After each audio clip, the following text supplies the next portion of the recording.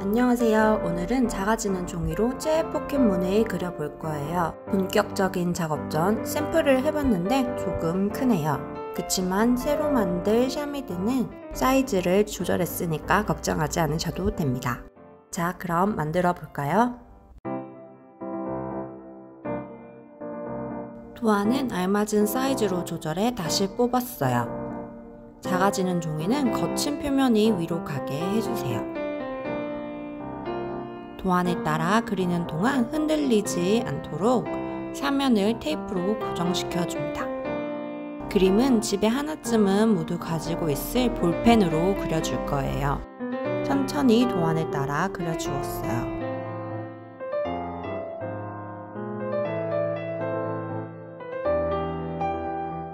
EV도 그려주고 검정 부분은 볼펜으로 채워줍니다. 우리 돌은 라인만 따줬어요. 채색은 파스텔을 사용할 건데 파스텔로도 깔끔하게 채색하는 방법을 알려드릴게요.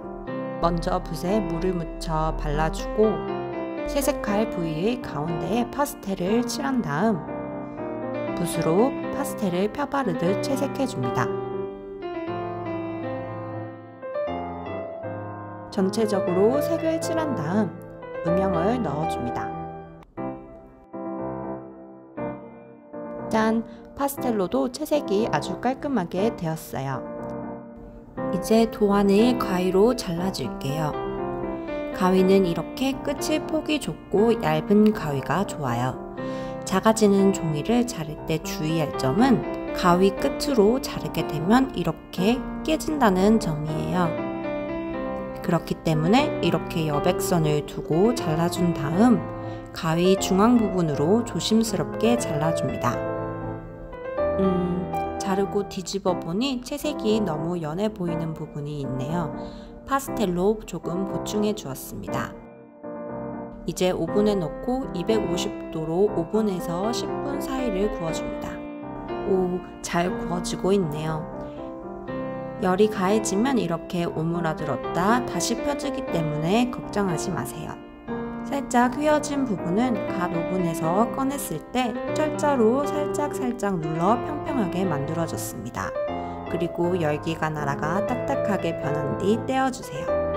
파스텔 가루를 물티슈로 1차 제거해줍니다. 물티슈로 닦아도 조금은 손에 묻어나기 때문에 마지막은 바니쉬를 발라 마무리해 주었습니다. 짜잔 샤미드가 완성되었어요. 이브이 물의 돌도 같은 방식으로 만들어 주었습니다. 이렇게 최애 포켓몬을 만들어 보니 띠부띠부실은 없지만 굉장히 뿌듯하네요. 어떠셨나요? 영상 중에 나온 포켓몬 도감도 making 영상이 채널에 올라가 있으니 세트로 만들고 싶으시다면 위 링크를 클릭해 주세요.